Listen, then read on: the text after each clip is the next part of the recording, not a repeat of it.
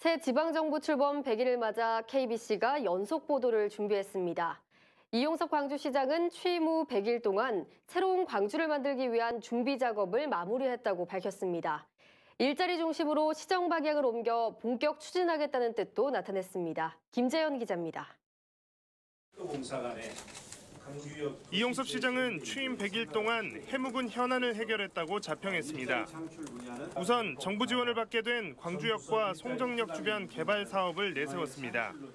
강주영 일대는 국토교통부 도시재생 뉴딜 사업 공모에 선정되어 총 1조 원 이상이 투자되는 대표적인 강주영 도시재생 사업이 추진될 것입니다.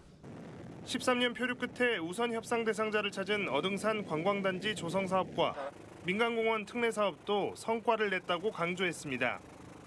논란이 계속되는 도시철도 2호선 공론화 문제는 결론을 내지 못하고 있고 민간공항 우선 이전으로 전남도와 대화의 물꼬는 텄지만 군공항 이전 논의는 여전히 불투명한 단계입니다. 새로운 비전과 미래 청사진을 제시하지 못한 채 해묵은 현안에만 매몰된 100일이라는 평가도 나옵니다. 이 시장은 새로운 광주 만들기를 위한 준비 기간이었다는 점을 강조했습니다. 행정에도 우선순위가 있어야 되고 기승전결이 있어야 된다고 생각을 합니다. 지난 100일은 일자리 인프라, 일자리 시스템, 일자리 고속도로를 깔았다 이렇게 생각을 해주시고요.